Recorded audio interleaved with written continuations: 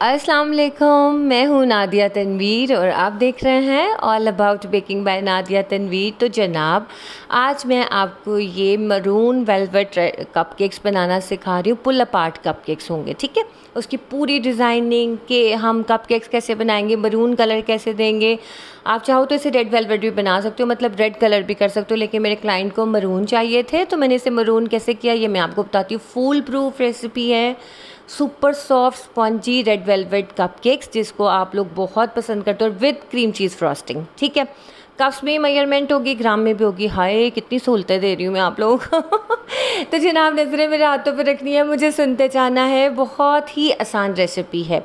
अच्छा जी, आपने लेनी है चीनी एक कप यानी कि 200 ग्राम आपने शुगर लेनी है और उसमें एक लार्ज एग लेना है, ठीक है? एक लार्ज एग लेना है, यानी कि उसका वज़न तकरीबन 45 से सिक्स फिफ्टी फाइव ग्राम्स हो जाए तो वेल एंड गुड और फिफ्टी ग्राम हो या सिक्सटी ग्राम हो तो बहुत ही अच्छा है, ठीक है? अच्छा जी, ये देखें मेरी आज तीन, जो मेरी स्लीव है ना, उसकी सिलाई भी निकल गई, मुझे पता ही नहीं चला। फिर मैंने उसको ऊपर किया। अच्छा जी, जल्दी जल्दी से हम देखेंगे कि हम इसमें डालेंगे two teaspoon vanilla essence vanilla essence कहाँ का यूज़ करती हूँ? कराची एसेंस का यूज़ करती हूँ। नंबर मैंने बहुत दफ़ा कराची एसेंस का शेयर कर दिया है। सबसे ज़्यादा मैंने ही लग रहा उन्हें प्रमोट किया है, वरना तो शायद ही किसी ने किया हो। एनी ये देखें मैंने चीन चीनी, अंडा और क्या कहते हैं जनाब, इसमें वनीला एसेंस डाल के इसे मिक्स मिक्स कर लिया और ये हम हैंडविच से बनाएँगे, इसके लिए बीटर की ज़रूरत नहीं है। अब इसमें हम डालेंगे रेगुलर वेजिटेबल ऑयल वो जाएगा हमारा जी आधा कप यानी कि 120 ग्राम मैं एमएल नहीं लिखती, क्योंकि हमारे जो मेजरिंग स्केल्स होते हैं, इसके अंदर एमएल वाला नहीं होता ना तो आपने ग्राम्स में ही मेजर करना है। बिल्कुल परेशान नहीं होना कि एमएल होगा तो नादिया क्या करेंगे। आपने बस आप ये देखो, अंडा, चीनी ऑयल और वनीला एसेंस हमने इसको अच्छी तरह से मिक्स कर दिया है, ठीक है? अब इसके अंदर हम डालेंगे रेगुलर दूध, जो हमारे घर आता है, खुला दूध डाल दें। आप उसका डाल दो, डब्बे का डाल दो, कोई मसला नहीं, लेकिन रूम टेम्परेचर पे हो, ना ठंडा हो, ना गर्म हो, ये भी जाएगा आधा कप और जनाब ये ग्राम्स में होगा वन ट्वेंटी ग्राम दोनों मेज़रमेंट हैं, जो कि मैं कप्स में और ग्राम दोनों में दे रही हूँ। अच्छा जी गर्म नहीं होना चाहिए रूम टेम्परेचर का बस हो। ये हमारे वेट इंग्रेडिएंट्स हैं, इनको हमने अच्छी तरह से मिक्स करके साइड पे रख देना है, ठीक है? बहुत ज़्यादा तेज़ तेज़ नहीं करना ये वीडियो थोड़ी स्पीड में होती है तो आपको लगता है कि पता नहीं नादिया तेज़ कर रही है, ऐसा नहीं होता। अच्छा जी, इसके बाद जो है, क्या कहते हैं, अब हम ड्राई इंग्रेडिएंट्स को मैयर करके रखेंगे। आल पर्पज़ फ्लावर मैं आपको भी बनाना सिखा रही हूँ। इसमें आपने one and one fourth cup लेना है आ, मैदा यानी कि 170 ग्राम। अच्छा जी अब हम आल पर्पज़ फ्लावर कैसे बनाएँगे? मैंने पहले भी बताया था। आपने 100 ग्राम में से एक टेबल स्पून निकाल देना है मैदे को। ये तकरीबन 200 ग्राम था ना 170 तो आपने इसमें से दो टेबल स्पून निकाल के ना मैदा उसके बजाय दो टेबल स्पून कॉर्नफ्लोर का डाल देना ये मैंने लिख के भी बता दिया ठीक है? दो टेबल स्पून मैदे का निकाल के दो टेबल स्पून कॉर्नफ्लावर डाल देना है। आपने उसको मिक्स कर लेना, आपका आल पर्पज़ फ्लावर बन गया। ओके अब इसमें वन टीस्पून जाएगा बेकिंग सोडा बेकिंग पाउडर नहीं जाएगा बेकिंग सोडा जाएगा। पाँच ग्राम बनता है। ओके हो गया?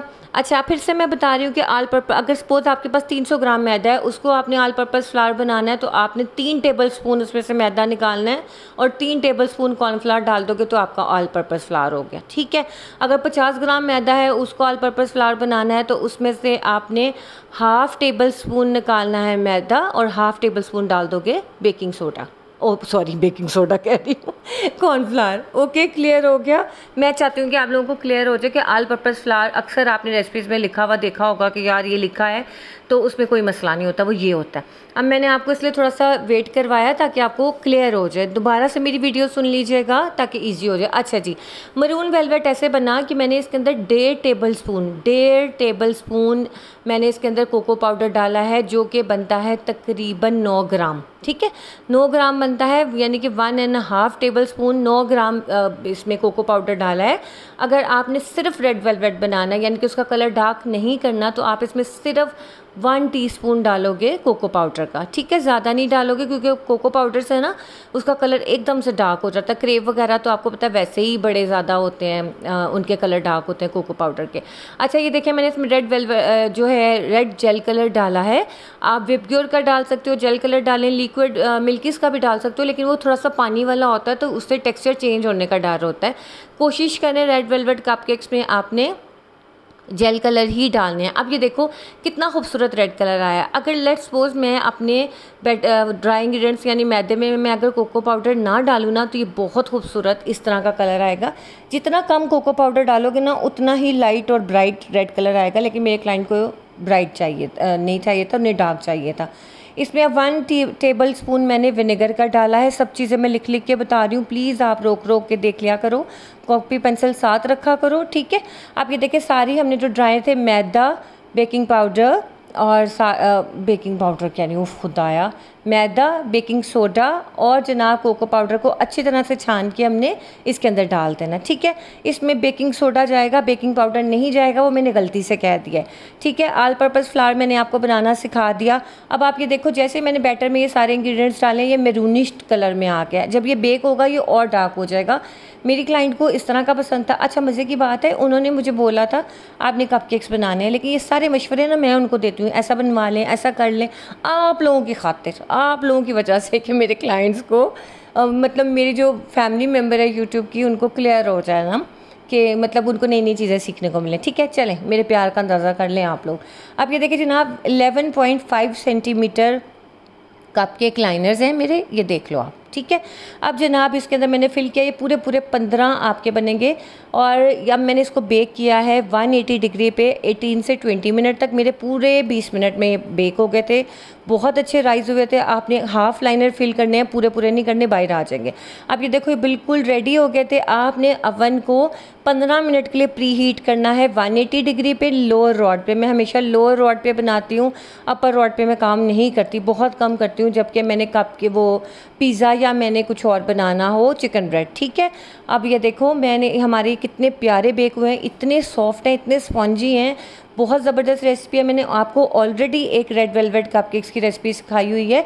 मैं उसका लिंक डिस्क्रिप्शन में डाल दूँगी। ये रेसिपी और वो रेसिपी दोनों फ़र्क हैं, लेकिन दोनों ही बेस्ट हैं। ठीक है, वो प्योर रेड वेलवेट थे, ये मरूनिश रेड वेलवेट हैं। ठीक है, अब ये देखो, इसको मैं दबा के भी दिखा रही हूँ, तोड़ के भी दिखा रही हूँ। देखिए, ये सब करने का मकसद यही होता है कि आप लोगों को मैं, ज़ाहिर सी बात है, खिला नहीं सकती टच नहीं कर सकते आप, लेकिन मैं कैमरे की नज़र से आपको दिखा सकती हूँ कि देखो कितना सॉफ्ट है। आपके करीब ला के कैमरे के दिखाती हूँ। आप इसके टेक्सचर का आप अंदाज़ा करो ताकि आप जब घर में बनाओ ना तो आपसे गलती ना हो। आपको कि हाँ नादिया ने तो ऐसे बनाए थे तो ऐसा ही होना चाहिए। अब ये इतने सॉफ्ट हैं, ये बहुत गर्म थे तो मैंने साथ साथ जो है ना, इनको खा भी लिया था। तो ये आपने बस इन चीज़ों का ख़ास ख्याल रखना ठीक है अच्छा मुझे बारह कप केक्स का ऑर्डर था। तो ये बाकी जो थे, फिर हमने खा लिए थे। इसके चार्जेस भी मैं आपको अभी बताती हूँ, आपने फ़िक्र नहीं करनी है, ठीक है? आप इसमें बहुत वेरिएशन कर सकते हो, आप टू डिजिट लिख सकते हो, जैसे टू नंबर नहीं होता, बड़ा सा लिखा हुआ होता, हर तरह का कर सकते हो। और यकीन माने मैं विपी विप या विपी विप नहीं फ्रॉस्टी विप क्रीम के साथ ये बना रही हूँ। आपको अंदाज़ा हो गया होगा कि मैं फ्रॉस्टी के साथ बना रही हूँ, फिर भी देखें कितना अच्छा वो स्टेबल क्रीम हुई थी, अभी आप देखिएगा। अच्छा जी, ये मैंने फ्लावर्स इस मोल्ड से पिंक वाले मोल्ड से बनाए थे, अब साथ में छोटी सी मैं वो बनाऊँगी बीज बनाऊँगी और ये क्लाउड कटर से मैंने क्लाउड काटे हैं। और ये छोटी छोटी डिज़ाइनिंग होती है जिससे आपको पता है खूबसूरती आती है। आपका जो दिल करे आप वो बना सकते हो। इसको शीट केक के तौर पे भी आप ट्रीट कर सकते हो। एक रेक्टेंगुलर बना के ना, ऊपर पूरा कवर कर दो। तो ये पुल अपार्ट कप बहुत ही मज़े के भी लगते हैं, प्यारे भी लगते हैं। और अक्सर होता है कि किसी के हिस्से में कुछ चीज़ आती है, चीज़ किसी के हिस्से में कुछ आती है।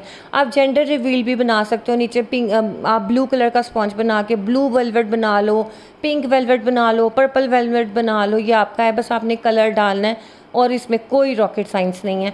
ये बस आपको पता ही है कि जब आपको बेसिक्स कोई चीज़ पता चल जाती है ना, आप बस उसी को कंटिन्यू करो। उसमें वेरिएशंस कर सकते हो। ये देखो, मैंने हनी भी बना ली बातों ही बातों में। अच्छा एक बात और, इसमें ना चीनी मुझे जो है थोड़ी सी मैं कम ही रखती हूँ, लेकिन अगर आपको चीनी कम लगे, आपने 200 के बजाय 240 या 250 ग्राम कर देनी है, ठीक है? ये देखें। अब ये हमारी आ गई जी पक की क्रीम चीज़ मैं यही यूज़ करती हूँ पक की, मुझे यही पसंद है, ठीक है? अब ये मेरी, आप विप क्रीम का टेक्सचर देख लो। मैंने इतना से स्टिफ पीक रख के अच्छी तरह मैंने इसको बीट किया था। अब आपने बीट करने के बाद उसमें कलर डालने के बाद फिर आपने क्रीम चीज़ डालनी है। ठीक है, ये 120 ग्राम हमारी फ्रॉस्टी विप क्रीम थी। उसके अंदर मैंने 60 ग्राम क्रीम चीज़ डाली है और अब मैंने इसको ज़्यादा बीट नहीं किया। सिर्फ़ एक मिनट के लिए लिटरली एक मिनट के लिए बीटर चला के मैंने इसको मिक्स कर दिया। ज़्यादा करेंगे, पानी छोड़ देगी आपकी विप क्रीम और वो बिल्कुल स्प्लिट हो जाएगी। अब ये देखिए, इसको किस तरह से हमने करना है। इस तरह से आपने एक आउटलाइन बनानी है और इस तरह से जो गैप्स भी हैं ना, उसकी फ़िक्र नहीं करनी कि हाय, हमारी विप क्रीम तो नीचे चली जाएगी। वैसे मेरी तो नहीं गई। आपने जो है ना, इस तरह से ऊपर पूरी लगा देनी है इसको, ठीक है? जो गैप्स भी होंगे ना, आपने पहले इन कपकेक्स के ऊपर क्रीम लगानी है देन आप उनके ऊपर से ऐसे जाल सा बना देना है, ताकि वो एक नीचे, आपके पास एक बेस सी बन जाए, ठीक है?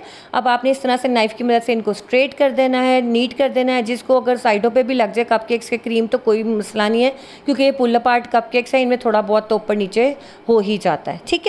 अब ये देखो, मैंने स्क्रैपर की मदद से इसको जितना हो सकता था नीट कर लिया। वैसे इतना नीट करने की ज़रूरत है नहीं बट आपको पता मेरी आदत है कि हाँ गंदा ना लग रहा हो।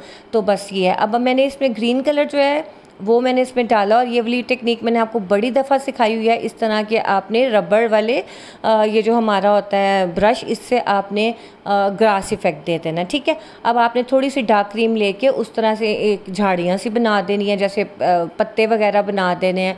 जो आपका दिल करे आप डिज़ाइनिंग कर लो, कोई इसमें मसला नहीं है। ये इसमें बहुत तरह की वेरिएशन हो सकती हैं। अब ये देखिए, मैं डार्क वाली थोड़ा सा मैंने और ग्रीन कलर ऐड किया क्रीम में और इस तरह से मैंने इसको डिज़ाइनिंग कर दी, ठीक है? अब ये देखें आपके सामने मैंने इसके अंदर जो है फॉन्डेंट लगा दी। अच्छा बहुत इंपॉर्टेंट बात आ गई है। आपने जब इन कपकेक्स को फ्रिज में रखना है ना तो आप इसमें, इसको बॉक्स में ना डालिएगा। जैसे कि अगर लेट सपोज़ उसके ऊपर फॉन्डेंट लग गई है ना, जैसे मैं अक्सर कहती हूँ कि जब आपने कप डिलीवर करना हो, तब आप इस पर टॉपर लगाओ, लेकिन ये पुल पार्ट कपकेक्स में आपने ये नहीं करना। फॉन्डेंट हार्ड नहीं होनी चाहिए। वो ये हो कि बस इसमें मैंने कोई टाइलॉस नहीं डाला, ताकि वो कोई भी कपकेक जब खींच के निकालेंगे तो साथ ही फॉन्डेंट भी टूट के निकला। ये ना हो कि फॉन्डेंट उधर ही रह गए कपकेक उधर चले गए। ये काम नहीं होना होना चाहिए। ये एक बहुत इंपॉर्टेंट टिप है, ठीक है? अच्छा जी, ये मैंने कितने के दिए थे? ये बारह कप थे तो वैसे तो मैं क्रीम चीज़ के साथ मैंने इसके थर्टी सिक्स हंड्रेड चार्ज किया था। ठीक हो गया। ये पूरी डिज़ाइनिंग पूरी चीज़ों के साथ थर्टी सिक्स हंड्रेड में मैंने इसको सेल आउट किया था। अच्छा जी, फिर से मैं बता रही हूँ कि आपने जो इसके टॉपर बनाने हैं, उसके ऊपर आपने फॉन्डन वगैरह के अंदर टाइलोस नहीं डालना। फ्रिज में बेशक बॉक्स में डाल के रख देना, पहले ही लगा के रख देना। जैसे आपने जैसे बनाए बना के रख देना दो तीन घंटे भी गुजर जाएँ सॉफ्ट हो जाए आपकी फॉन्डेंट तो कोई मसला नहीं है। ताकि वो जब एक भी एक पीस निकालें तो मसला ना हो। ठीक है? तो जनाब, ये तो लास्ट वाला, मैंने अपने लिए रखा था एक। मैंने कहा, चलो यार, मैं आपको टेस्ट टेस्ट करके दिखा दूँ। लो जी, दिखाने ही लगी तो लाइट यहाँ की चली गई। शर्ट मैं फिर ऊपर गई, मैं चलो ऊपर जाके तस्वीरें खींच लेती हूँ। मोबाइल की बैटरी भी डाउन हो गई तो ये इसका टेक्सचर है इन साइड में रून वेलवेट का। वीडियो कैसी लगी ज़रूर बताइएगा आप। आपके कमेंट्स का, आपकी बातों का, मुझे, दुआओं का मुझे इंतज़ार रखता है। लाइक शेयर सब्सक्राइब कर लिया करें और मुझे आपके कमेंट्स ज़रूर पढ़ूँगी। कोई क्वेश्चन रह गया हो तो कमेंट कर दीजिएगा, ठीक है? ओके जी, अल्लाह हाफिज़।